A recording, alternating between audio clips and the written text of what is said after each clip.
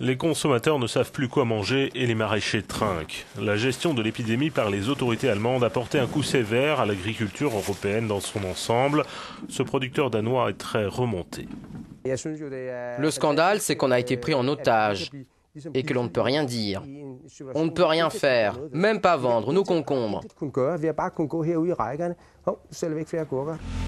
Situation identique en Roumanie où les producteurs doivent se débarrasser de leurs récoltes. Si la crise actuelle se maintient, la principale association de maraîchers roumains s'attend à enregistrer des pertes estimées à 9 millions d'euros d'ici la fin du mois d'août. Chaque jour, on récolte entre 200 et 300 tonnes de concombres et on les entasse ici. On ne vend rien, on n'exporte rien. On perd 100 000 euros quotidiennement.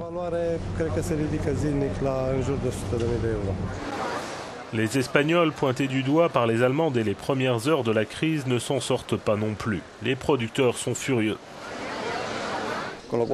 Il y a un surplus de légumes. On n'en vend pas assez, la plupart vont à la poubelle. Trop vont à la poubelle. La situation ne fait qu'empirer. C'est vraiment pire qu'avant. Ne pouvant vendre leurs légumes, les producteurs se voient obligés de tout détruire, ce qui coûte aussi beaucoup d'argent. Les fermiers européens attendent de savoir quand ils vont être dédommagés.